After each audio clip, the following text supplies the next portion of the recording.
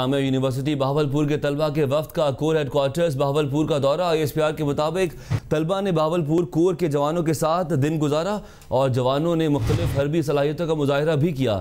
طلبہ کو پاک فوج کے امور کار اور تیاریوں سے متعلق آگاہ بھی کیا گیا، جبکہ طلبہ نے جنگی مشقوں اور جدید اسلحے کا معائنہ بھی کیا۔ طلبہ نے ٹینک پر سواری اور چھوٹے ہتھیاروں سے نشانہ بازی بھی کی۔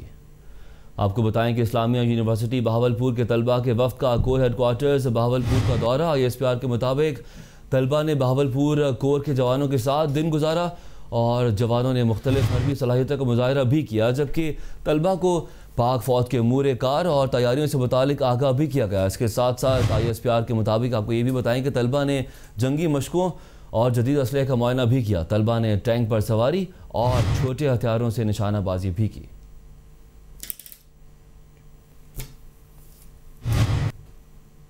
محمد ظریف نمائندہ کیپٹل ٹی وی سے تفصیلات جانتے ہیں۔ محمد ظریف، بتائیے گا اسٹوڈنٹس کی مزید کیا ایکٹیویٹیز تھیں؟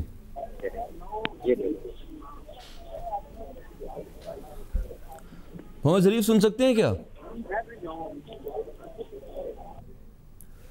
اسلامیہ یونیورسٹی، بہاول، پور کے حوالے سے آپ کو بتائیں کہ وہاں کے طلبہ نے دورہ کیا اور جوانوں کے ساتھ دن گزارا اور ٹینکس کی سواری بھی کی اور، چھوٹے ہتھیار بھی چلائے۔